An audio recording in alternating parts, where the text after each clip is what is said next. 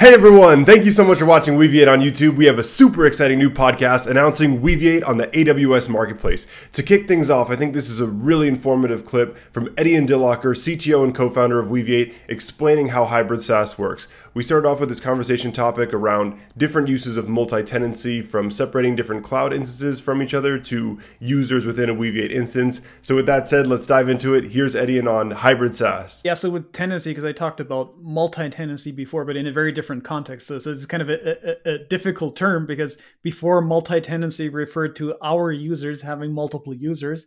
In this case, now tenancy refers to sort of the isolation boundaries within AWS. So, um, so so let's say our chatbot application from before is an AWS customer, they don't want their data to be mixed up with competing chatbot application, but still within sort of this single tenancy setup, they might have multiple users. So it's an, a, a, term used in, in multiple settings. Nevertheless, the, the concepts are exactly the, the same for us. So data that shouldn't leave a certain realm, and this is this is something where um, the the sort of again those using the same term the single tenancy nature of your own Weaviate deployment in your private VPC in your cloud tenant, um, that that gives you the capability to stay completely in control. So um, we touched upon this uh, uh, at the very beginning.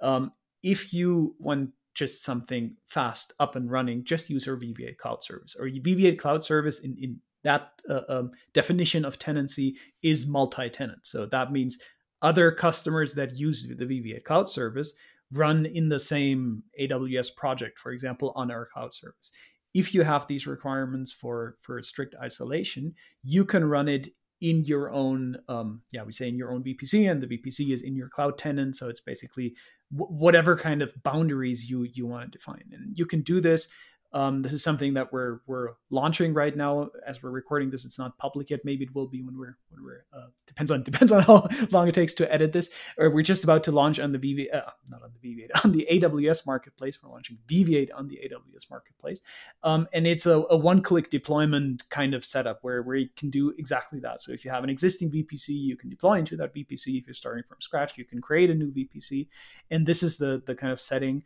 where you can make sure that because your data that's contained in Weaviate is then wherever Weaviate is deployed.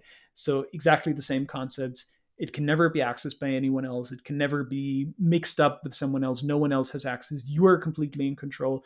If you tomorrow you decide you want to tear it down, you want to delete the disks, you are in, in, in that kind of kind of control, which is great for for all kinds of yeah security, compliance, etc. settings.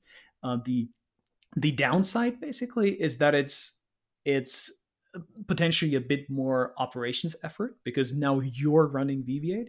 And this is where our hybrid SaaS idea comes in. So with hybrid SaaS, basically the Weaviate team helps you run this. So depending on how much data you're willing to give away, for example, one thing that you could opt into is saying like, hey, I want to push my metrics to the Weaviate team. Then what we can do is monitor the metrics. So you can say like, hey, you're about to run out of XYZ, or we see a pattern here or there, or maybe if something happens, um, then and, and, you're reaching out for for support to us, and we can say like, yeah, okay, we we we have the kind of di- diagnostics uh, tools that that we need.